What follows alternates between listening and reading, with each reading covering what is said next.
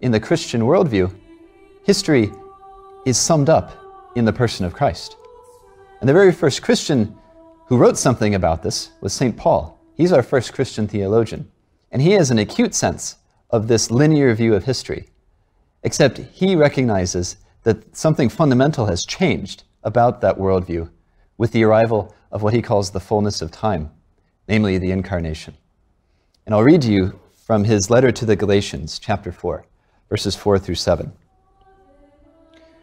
But when the fullness of time had come, God sent his Son, born of a woman, born under the law, to ransom those under the law, so that we might receive adoption. As proof that you are children, God sent the Spirit of his Son into our hearts, crying out, Abba, Father. So you are no longer a slave, but a child, and if a child, then also an heir through God. Note how Paul understands what has happened in the incarnation.